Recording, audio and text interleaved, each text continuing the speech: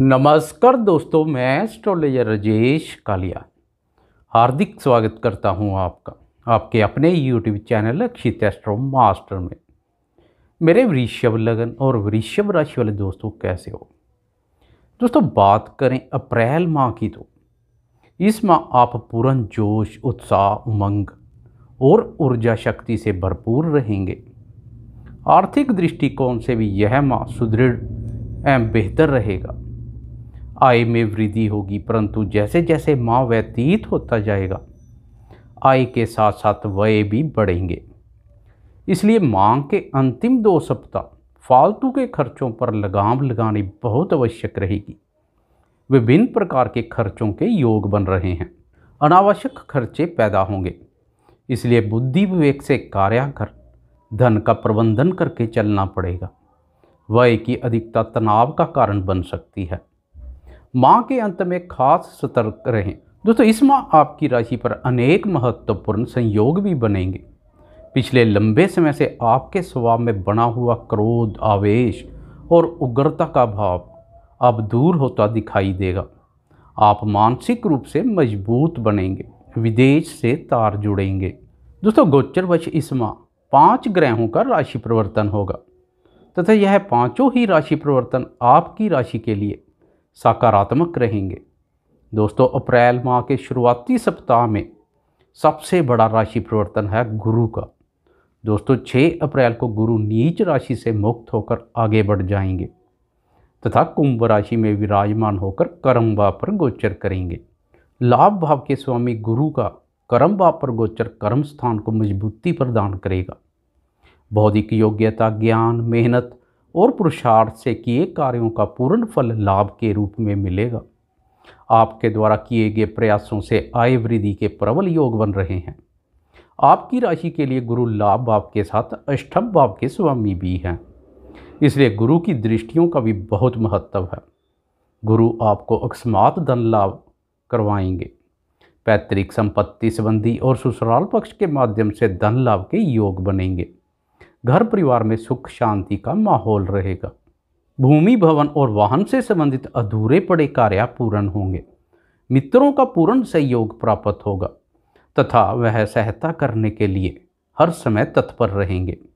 रोज़गार की तलाश कर रहे दोस्तों के लिए गुरु का राशि परिवर्तन रोज़गार के अनुकूल अवसर पैदा करेगा। बौद्धिक क्षेत्रों से जुड़े दोस्तों के लिए गुरु का राशि परिवर्तन विशेष लाभप्रद रहेगा। दोस्तों, कुल मिलाकर गुरु का राशि परिवर्तन धन एवं सुखों में वृद्धि करने वाला रहेगा। दोस्तों, गुरु का यह गोचर लंबा चलेगा। इसलिए गुरु के शुभ फलों की प्राप्ति के लिए धैर्य बनाए रखें। दोस्तों, गुरु के बाद दूसरा राशि परिवर्तन है राशि स्वामी शुक्र का।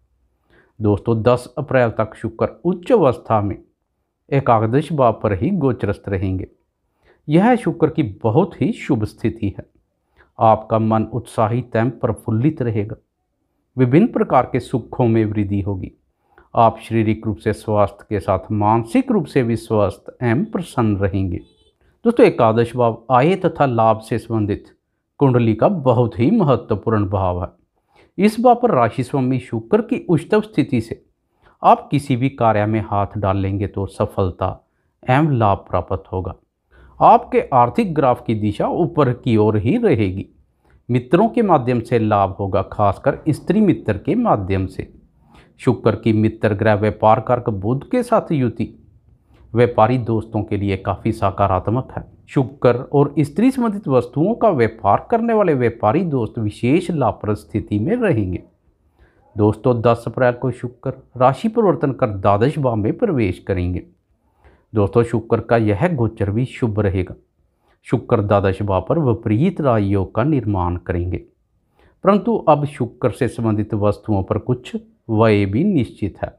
आप यह व्यय वैभव विलास की वस्तुओं और अपने सुख चैन पर करेंगे। घूमने, फिरने, मौज, मस्ती और शौक पूर्ति के कार्यों पर भी कुछ व्यय करेंगे। दोस्तों द्वादश भाव से राशि स्वामी शुक्र की छठे भाव अपने ही भाव पर दृष्टि के साथ गुरु की दृष्टि भी पड़ेगी। यह दृष्टियाँ शत्रु और विरोधियों के माध्यम से लाभ करवाएँगी। ऋण संबंधित कार्य पूर्ण होंगे। किसी भी प्रकार का ऋण चाहिए तो बहुत ही सरलता से उपलब्ध हो जाएगा। आपको अपने ननिहाल का पूर्ण सुख सहयोग प्राप्त होगा तथा उनके सहयोग से आपके अनेक कार्य संपन्न होंगे। पत्नी के साथ दूर स्थल की यात्रा के योग बनेंगे। दोस्तों द्वादश भाव पर शुक्र के प्रभाव से आपके मन में विपरीत लिंग के प्रति आकर्षण बढ़ेगा। इस अवधि में आपका मिजाज कुछ रंगीन रहेगा। दोस्तों, पूर्ण मास ही शुक्र का गोचर उत्तम बना रहेगा। शुक्र के बाद तीसरा और चौथा राशि परिवर्तन है। दोनों ऊर्जा कारक ग्रहों मंगल एवं सूर्य का। 14 अप्रैल तक मंगल आपकी राशि में राहु के साथ युति में गोचर करेंगे।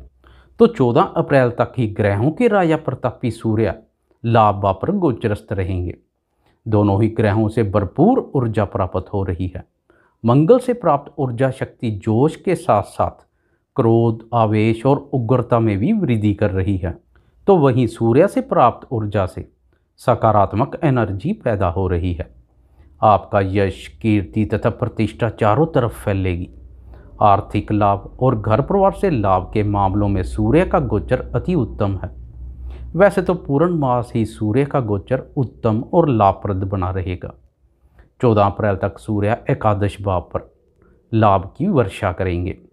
लाभ भाव पर सूर्य का गोचर हर प्रकार से लाभप्रद है।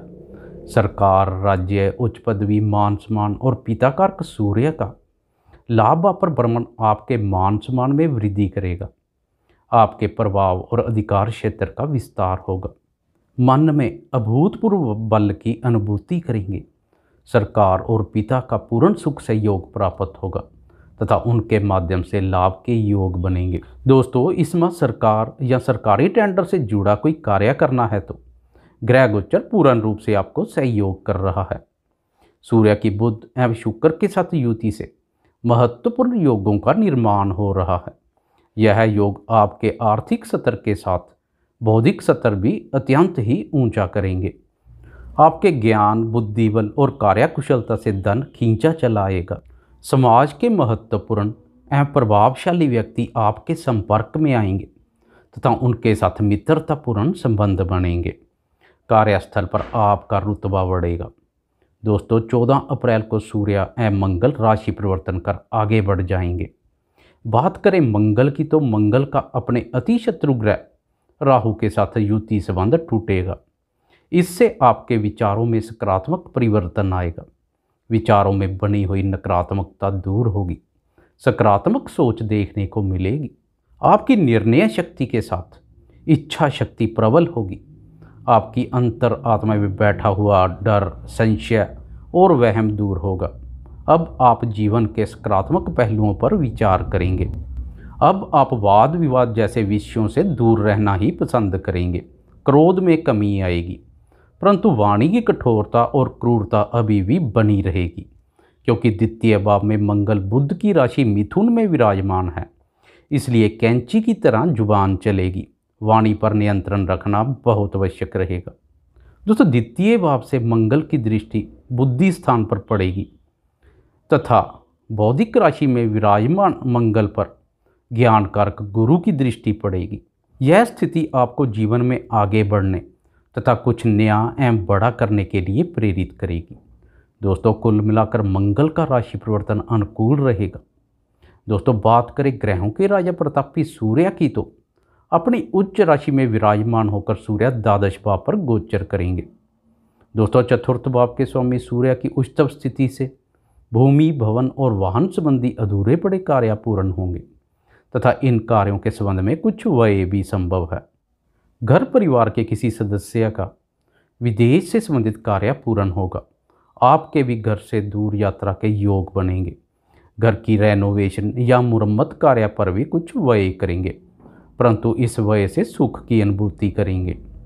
दोस्तों, इसमें अंतिम और पांचवा राशि परिवर्तन है बुद्धि, एवं व्यापार कारक बुद्ध का।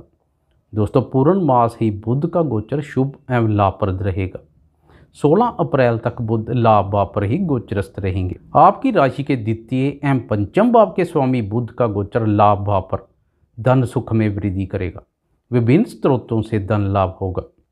आय में वृद्धि से बैंक बैलेंस बढ़ेगा। संतान और मित्रों के माध्यम से धन लाभ के योग बनेंगे। बौद्धिक योग्यता और क्रिएटिविटी के कार्यों द्वारा प्रचुर मात्रा में धन लाभ होगा। व्यापारी दोस्तों के लिए भी व्यापार कारक बुद्ध की यह स्थिति बहुत शुभ है। व्यापार के माध्यम से प्रचुर मात्रा में धन लाभ के संकेत प्राप्त हो रहे हैं। व्यापार के संबंध में सरकार का पूर्ण सहयोग प्राप्त होगा तथा सरकार के सहयोग से व्यापार के रास्ते आने वाली कठिनाइयाँ और बाधाएँ दूर होंगी। आपकी एकाग्रता अपने आय संबंधित लक्ष्यों पर बनी रहेगी। दोस्तों 16 अप्रैल को बुद्ध राशि परिवर्तन कर, द्वादश भाव में प्रवेश कर। राशि स्वामी शुक्र एवं उच्च के सूर्य के साथ युति में गोचर करेंगे। इस अवधि में विदेश में आपके संपर्क स्थापित होंगे।